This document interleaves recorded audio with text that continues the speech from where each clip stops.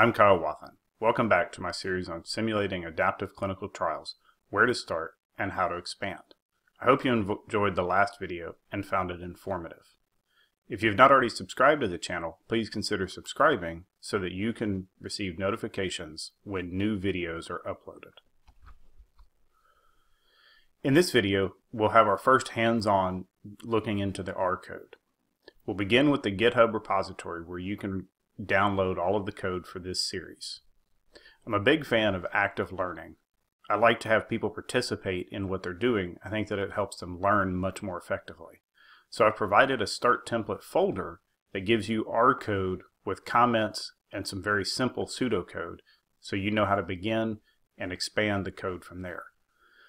I also provide a final solutions folder for each example so that you have a fully worked and running code at the end.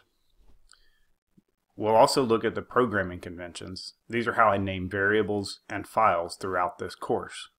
This will help understand how the code is written and where to find things. We're going to look at RStudio basics. These are some shortcuts that I routinely use to improve my productivity, and I hope that you'll find them helpful. We're going to jump right into the R code, walk through the template so that you know what it what is there and what is expected. Then we'll actually pause, give you an opportunity to work on the code, and then we can come back and compare it to the final solution. Then from that point, we'll be getting it ready to go to where we can expand from there. Remember, this video is just the beginning part where we'll have a very simple trial. In the future videos, we'll be expanding to do all of the adaptions that we want. In the video description, you'll find a link to the GitHub repository that has all the code for this series. If you're familiar with source control, you can simply use the clone button. This will download the entire repository so that you can simply pull to get any updates as we move through the series. If you're not familiar with source control, GitHub does provide a facility in which you can just click the download and you can get it as a zip file. You can then extract all of the files from there. The major disadvantage to this is that as updates are pushed to this repository, it'll be difficult for you to get them. So if you're not familiar with source control but are interested, in the programming conventions document, the very the very top, there is an introduction to GitHub and gives several links to how to get used to using Git. In the remainder of this video, we're going to be focused on example one. We'll go into to example one starting in the start template folder, and from there we'll look at the code and begin putting the building blocks together for the fully adaptive trial that we're trying to get to. As a reminder, in this example we are going to simulate a fixed sample clinical trial. This means that the analysis will only be conducted at the end of the study. We will assume two treatments, standard of care S and the experimental arm E. We will assume a Bayesian beta binomial model for calculating the probability that one treatment is better than the other. We will select the treatment if there is greater than a 90% chance that it is better than the other treatment. This approach could be done in a very simple fashion. See, for example, simpleapproach.r for the complete solution. This approach would be sufficient if we did not want to do any kind of adaptive design. If we tried to take the code in simpleapproach.r and expand it to meet the fully adaptive randomization that we are planning on doing, this type of code would result in error-prone code and would likely be difficult to extend. We're going to begin in the R code. We'll start with simpleapproach.r. Note that we are starting in the start template folder. This In this part of the solution, we only have outline with a little bit of the code that we are going to do. This will allow us to pause and give you an opportunity to develop the code on your own and then compare to the solution provided at the end of this video. We will begin with RStudio and a few basic tricks that I like to use. For example, there is an outline button found here that if you click on it, it will show an outline of the file that you are looking at. This can be very useful for navigating through the R code and finding exactly what you're looking for. In the template, I've provided an outline, and for each place where code needs to be added, there's an add code to define parameters, or an add code to define cutoffs. These comments are used to guide you so that you know where to actually add code. Couple other things that are of interest in RStudio so that when I'm moving around, you'll understand how I'm doing it. For example, if you highlight a variable and then scroll down through the R code, you'll notice that like here, the variable is highlighted. This makes it very useful for looking where else you've used variables and can quickly find them. One other opportunity that I like to use or, or shortcut that I like to do is if you click on a function name and press F2, it jumps to the definition for that function. This can be very useful when you're developing multi-file solutions. Another useful tool in RStudio is the code, code folding. This can be done by clicking the arrows over on the left-hand side. Notice when you press it once, it hides code. You get an indicator that code is hidden. By this, you can click it again to expand it. This becomes useful when you need to look at when you want to hide big blocks of code. This is often useful if you have very long files, though I do not recommend developing with long files. At the top of each of the R files, there's going to be a description saying what the file will do. Okay, now jumping right into the code. At the beginning, you'll notice that I have a remove list equals ls. What this does is it clears out the environmental variable. It's a very good practice to have this so that you do not accidentally use variables that you'd previously defined. What we would like to do is to, to define a few of the variables to give you a starting point in this template with where to go. So we're going to make the assumption that the N max quantity of patients is going to be 200. I try to use descriptive names, but not to be overly long in length so that you have to type. One of the conventions that I use is I always like to have prefixes at the beginning of every variable name. For example, this one I began with an N because I expect the number of patients in a trial to be an integer value. This helps when I'm reading the code to know what a variable type is. As you're going through the code, you'll notice that there are places where I've put comments as to what I would like to do. So for example, I'm going to start at the add code here to define parameters. This is, would be a good place to add your prior parameters. Notice that I've put, a, put a comment above so that the prior response rate for S would be defined as a beta 0.2.8. Prefix the variable, say for example D prior A for S being the A parameter in the beta distribution would get 0.2 D prior B for S could get a 0.8. You would need to continue doing this to define the prior parameters for E as well. The reason I like to use variables rather than hard-coded values later in the code is it makes it much easier to change and to try different things. As you scroll down through the code, you'll see where I've left several comments, such as we're going to define the decision criteria and then a comment as to what you should add here. Note that there are many ways that this could actually be done. The way that I'm walking through this is only one possible solution. When you're thinking about it, putting variables in, such as defining the cutoff for the probability to make a decision, makes it much easier to try different things and new values. If you don't like the design, change the parameter and redo it. If you actually had hard-coded those values into the code and it was in multiple places, you could end up with a design that you're really not sure what it's actually doing. So it's usually best to define things in variable names and have code blocks describing what they are.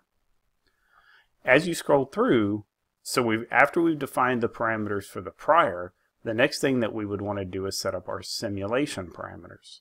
The simulation parameters would be things such as your true response rate for S, your true response rate for E, and the number of virtual trials that you'd like to simulate. Typically, I like to simulate at least a thousand virtual trials before providing any average behavior. Although, depending on the, the case, I may do as many as 10,000 or 100,000 virtual trials. This provides a more precise estimate. Notice that I've given some example code. This is useful for, for being able to simulate the data and understand a simple way of doing it. Again, as you go down, there is a way that you can, there's a spot that indicates what you would want to add here. For example, here you would want to add code for simulating the response. As you finish scrolling down, there will be more places through here where you're going to go through the simulated trials and collect your results. Note that I've already put an idea here, which is you want to calculate the probability that S is greater than E, or the probability that E is greater than S, but note that I do not have that function filled out. I've given a couple hints as to how to calculate that. You could do it by simulating from both of the prior the posterior distributions, or you could compute this for integration by integration in this case. Most of the Bayesian models don't allow for the integration and you actually have to do MCMC. But for this simple case, integration would be sufficient and would actually be quicker than sampling the two posterior distributions. At this point, we're going to continue scrolling down to the very last section. Note, rather than continuing to scroll, I could come over and click on the shortcuts on the right hand of the, where you have the outline of the document. This jumps me to exactly where I'd like to be in the document.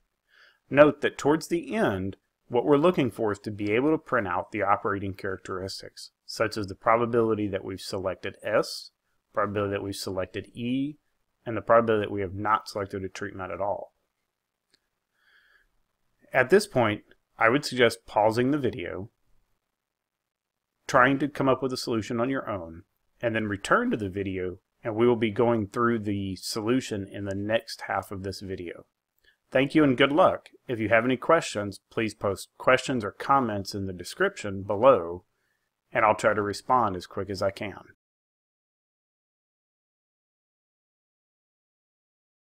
Welcome back. How did you do? Were you able to complete the coding challenge and simulate the fixed sample trial? If not, we're about to go through the template file and add the necessary code based on the comment. Okay, we're back in RStudio and we're going to start at the, at the top of the file where we have comments based on the document outline on the right.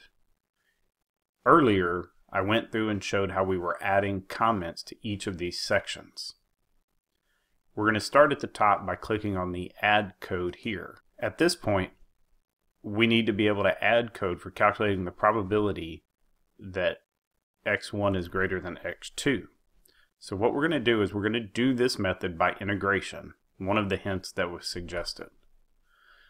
So we're going to use the built-in integrate function in R. But in order to do this, we need to know the function that we're integrating. Note that this is a straightforward calculation based on two beta distributions. Please refer to the PDFs to be able to see how the function was created.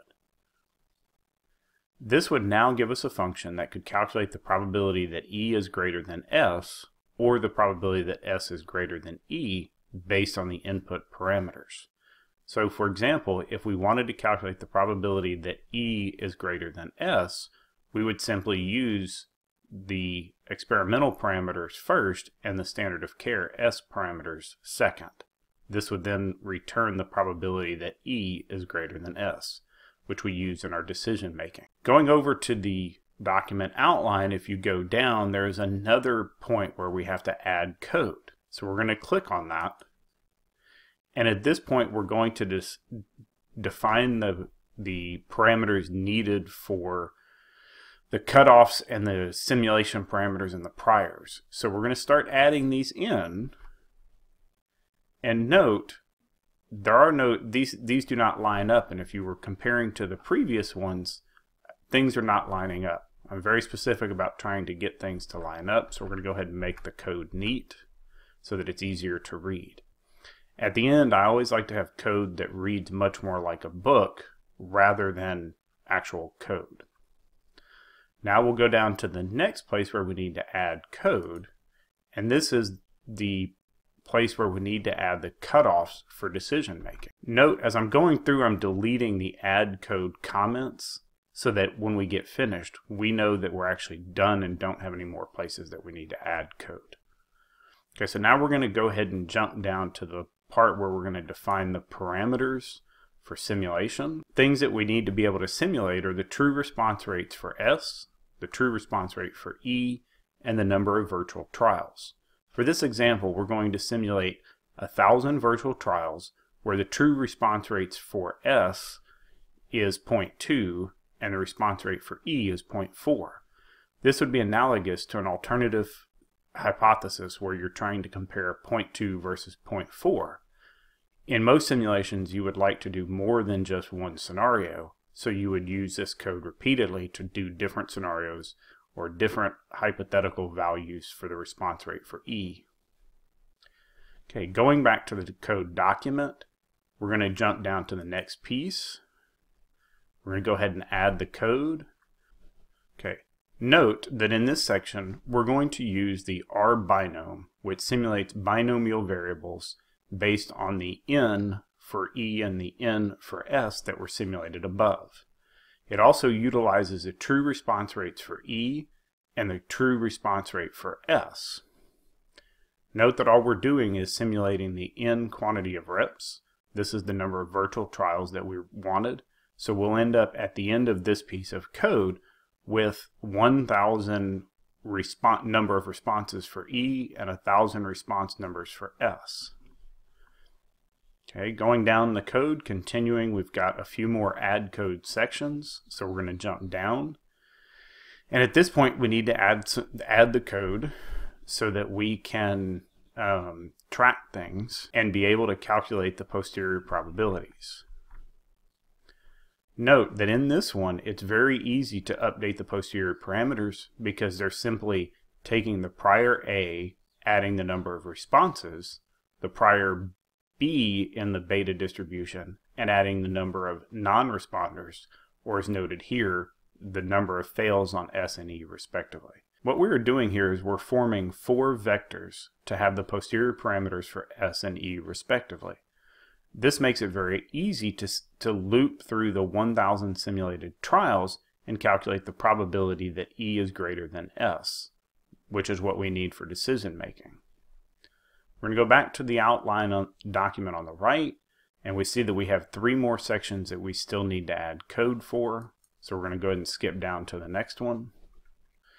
And now what we're doing is we've already gone through and we've looped through the trials up at the in the loop, the for loop above. We've calculated the probability that E is greater than S, and now we simply need to summarize the data or the operating characteristics based on this. So this section down here, what we're doing is we're calculating the, the likelihood that the probability that E is greater than S is above the cutoff value of DPU. We'll also calculate the probability for selecting S and no treatment the same way. The last thing we need to do is to add the print statements to summarize the operating characteristics and calculate the average number of patients on S and E. Note that in this example, we did equal randomization. We're not doing a block randomization, so there's no guarantee that we'll end up with half the patients on S or half the patients on E. But I would leave this as a challenge. What would you need to do to modify the code such that it would be block randomization rather than equal randomization? I hope that you found this video very helpful and will continue to watch the remaining videos. In the next one, we will actually be looking at how to take this example and create functions for each of the tasks that were there. This will make it much easier to expand in the future videos and sections of this course. Remember, if you have not subscribed, please consider subscribing so that you'll receive updates when new videos are posted. Good luck and see you next time.